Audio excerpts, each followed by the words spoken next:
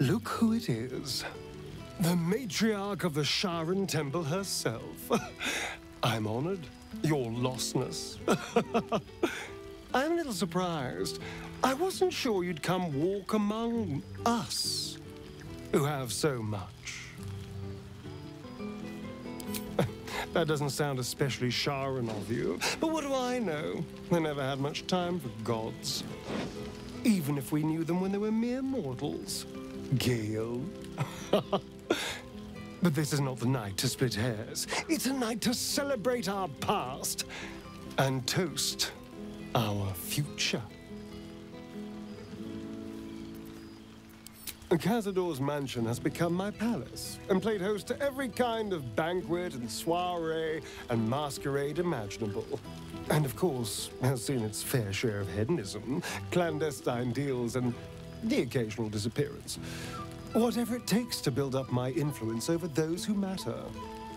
I'm spinning my web. Power grows slowly, but I have nothing but time now. Try to wound me all you like, but I'm so much better than he ever was. I achieved what he only dreamed about. And now my ambitions can take me anywhere I want. But the important thing is I am doing wonderfully. Finally having a life that's worth living. And who knows what's next? There's an entire world out there, ready for the taking.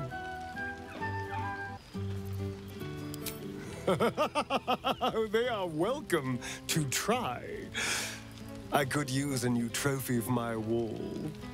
I did miss you, you know. You always had such unique ideas about the world. We did share a wonderful adventure, you and I. A pity to see it end in some ways. But we have great new lives stretching out before us, and great new adventures to go on. I will never forget the time we spent together, though.